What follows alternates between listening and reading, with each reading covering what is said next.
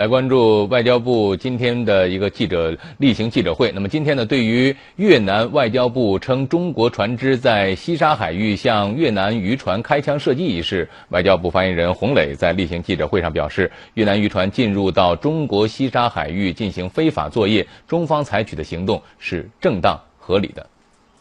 二十五日，越南外交部发言人称，一艘中国船只二十日向西沙群岛附近争议海域捕鱼的一艘越南渔船开枪射击，越方就此向中方表示强烈抗议，敦促中方进行调查、严肃处理，并向越渔民作出赔偿。中国外交部发言人洪磊在二十六日的例行记者会上表示，越南渔船进入中国西沙海域进行非法作业，中方采取行动是正当合理的。中国对西沙群岛。拥有无可争辩的主权。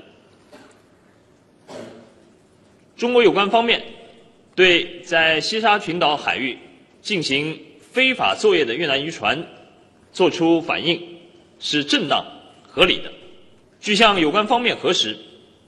当时没有造成越南渔船任何损失，造成任何损害。洪磊强调，中方敦促越方采取有效措施，加强对本国渔民的教育和管理，停止有关非法活动。北京台报道。